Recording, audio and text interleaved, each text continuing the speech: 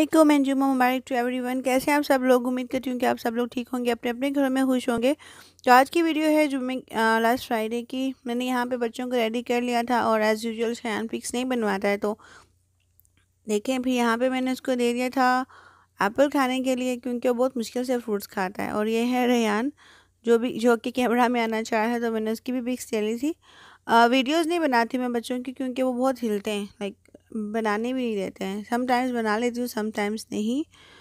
तो आप सब सुनाएँ, आप सब कैसे हैं? मेरी वीडियोस काफ़ी डिले हो रही है आजकल। मुझे टाइम ही नहीं मिल पा रहा है एडिटिंग करने का।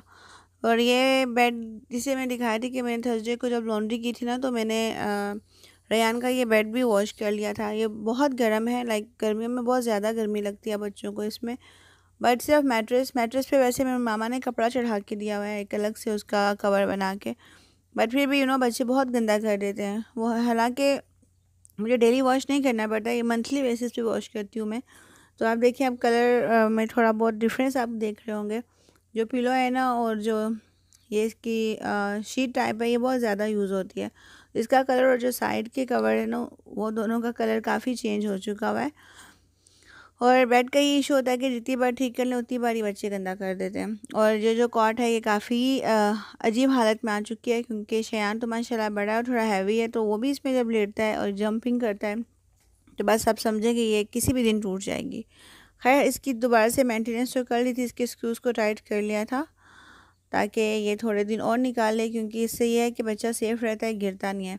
तो यहाँ पे बनाने लगी थी मैंगो की चटनी, क्योंकि हमें मैंगो लिए थे किसी ने जहाँ पे मैं जॉब करती हूँ, वहीं से अंदर से एक विला से उतार के लिए थे। तो चटनी मैंने सोचा कि मैंगो की बना लूँ। यहाँ पे मेरे पास फ्रेश गार्लिक नहीं था तो मैंने इसमें गार्लिक पेस्ट डाल लिया था। हरी मिर्चें ले लिया, हरा धनिया और पुदीना ले लिया। बना तो ली थी बट रस में अभी तक खाई नहीं है टच भी नहीं किया। क्योंकि रमज़ान में तो होता है कि आप लोग ये चटनियाँ और ये सॉसेस वगैरह खा लेते हो बट नॉर्मल में नॉर्मल रूटीन में ना मुश्किल ही हो जाता है ये सब खाना। टाइम ही नहीं मिलता है, और दूसरा, मैं तो वैसे भी हेल्दी ईटिंग पे हूँ तो मैं पता नहीं, मैं सब चीज़ें अवॉइड करती हूँ बट फिर भी इशू यह है कि आजकल हमारे घर में ना एवरी अदर डे या तो चीज़ केक आ रहा होता है like all types of cake आ जाते हैं और वो भी जो मुझे काफ़ी पसंद होते हैं। तो बहुत मुश्किल है बट फिर भी मैं खा लेती हूँ। ऐसा नहीं कि मैं खुद पे जबर नहीं करती, मैं खा लेती हूँ, थोड़ा बहुत खाती हूँ, क्योंकि मुझे पता है कि मैंने पोर्शन कंट्रोल करना है तो मैं थोड़ा ही खाती हूँ, बहुत ज़्यादा नहीं। तो यहाँ पर मैं बना रही हूँ चटनी मैंने चॉपर में डाला था ना तो चॉपर में नहीं बननी थी ठीक से। एज़ यूजल फ्राइडे है तो आज यहाँ पे बनेगी बिरयानी। तो एक्चुअली पुलाव भी बनता है लाइक हम अल्टरनेट कर लेते हैं। तो आधे लोगों को पुलाव बहुत पसंद है, आधे लोगों को बिरयानी बहुत पसंद है तो बहुत मुश्किल हो जाता है डिसाइड करना। तो पतीला मैंने चेंज कर लिया है क्योंकि ये थोड़ा वाइड है तो इसमें चिकन टूटती नहीं है। और जो दूसरा है, वो थोड़ा सा ना, वो डेप्थ में ज़्यादा है बट विथ में थोड़ा कम है। तो फिर मैंने सोचा कि इसी में बना लेते हैं। तो यहाँ पे प्याज मैंने ब्राउन करके निकाल लिए थे क्योंकि स्टार्टिंग से नहीं बनाई मेरे मेरे चैनल पे ना बिरयानी की वीडियो की रेसिपी बहुत सॉरी बिरयानी की रेसिपी जो है बहुत बार मैंने शेयर की हुई है। तो यहाँ पे ऐड कर ली है चिकन और मज़े की बात बताऊँ, मुझे अभी तक चिकन काटनी नहीं आती है तो मैं सोचती हूँ कि जब मेरी मामा पाकिस्तान चली जाएँगी तो क्या करूँगी मैं।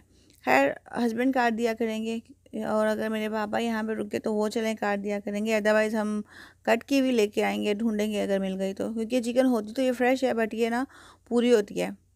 होल चिकन होती है, इसमें कुछ कटिंग नहीं की हुई होती उन्होंने। वो जो कट हुए हुए पीसेस मिलते हैं, वो फ्रोज़न चिकन होती है। तो उसके ऊपर स्किन होती है तो वो भी मुझसे नहीं उतरती है ठीक से। तो जिंजर गार्लिक पेस्ट ऐड करने के बाद मैंने चिकन ऐड कर लिया, इसको मैं हिला लूँगी अच्छे से।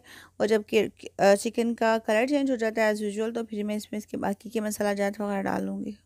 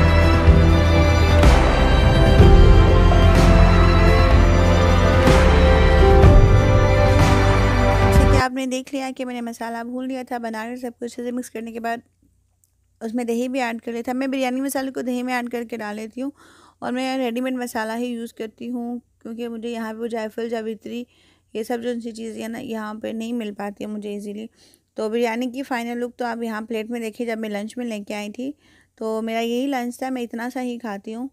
और बिरयानी जब पक चुकी थी तो मैंने अपनी सिस्टर से कहा था कि वीडियो ले लो तो उसने कहा था कि आपके चैनल पे ऑलरेडी बहुत बार बिरयानी की रेसिपी और ये सब आप डाल चुके हो तो आप रहने दें। तो फिर भी जब मैं नेक्स्ट डे ऑफ़िस लेके आई थी ना तो मैंने कहा कि चलें आप लोगों के साथ एक क्लिप शेयर कर दूँ।